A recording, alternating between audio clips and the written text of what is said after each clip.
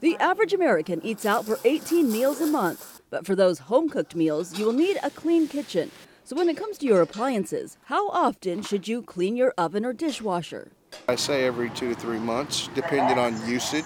Experts say you should clean your oven once every three to six months. A clean oven uses less energy and saves you money.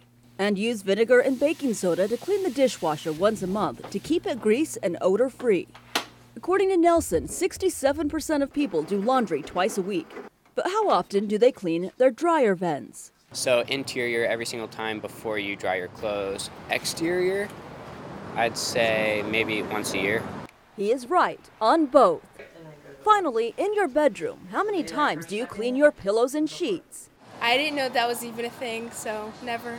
Your sheets should be cleaned weekly while you should wash your pillows during each season. Americans spend up to 11 hours in bed, according to a survey by Slumber Cloud. During that time, sheets and pillows gather sweat, dust, drool, and more. Reminding you of a few more chores to do. I'm Jessica Sanchez reporting.